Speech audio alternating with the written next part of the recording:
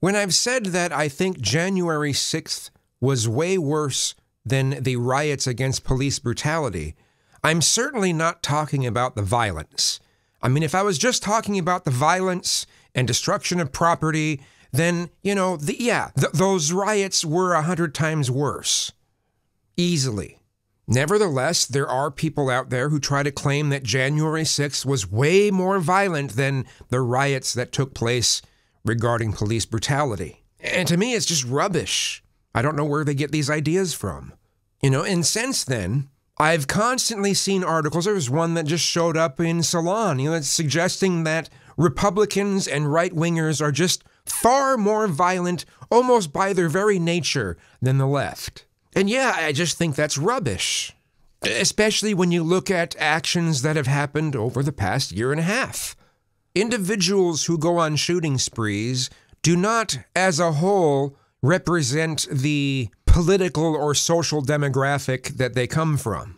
Otherwise, there'd be a lot of religions that wouldn't be so coddled anymore, you know? The right wing is smarter about the way they riot. I mean, it takes a lot for them to actually riot. Usually it's just some sort of a protest. But uh, when they riot, they, they're smarter about it. Heck, look, look at the far right. Look how terrorizing it was when they all carried these torches, right?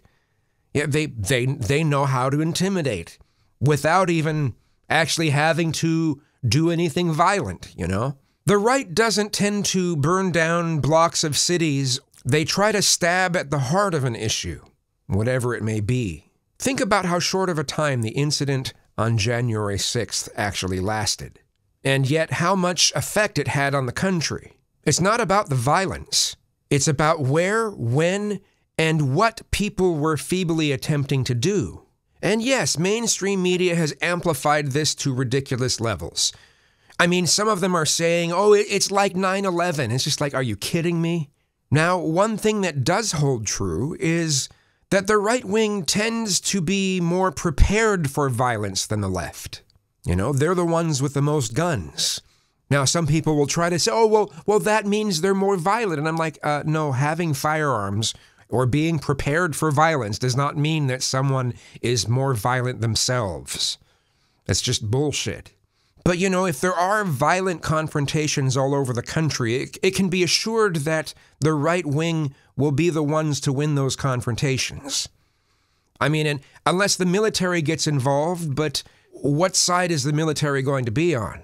Eh, maybe they won't be on either side and, and they'll just try to put a stop to all of this stuff. I don't know. You know, to those of you who try to say that the right wing is more violent, I, I think some of you are just scared that if there was some sort of civil war, that you'd lose. You'd lose big time. You know, I, I truly think if there is a civil war, the right wing will win this time around. I think it's totally reasonable to protest police brutality. I think it's messed up that it became so violent, but I think that's a, a reasonable thing to protest. I think it's I mean, if people want to have a protest because they don't like the results of the election, fine, have a protest. But if you're rioting over something like that, and you're some people are literally trying to stop democracy, you know, even though it's a feeble attempt, but you're still trying to do that. Yeah, it, it, it that's worse. I'm sorry.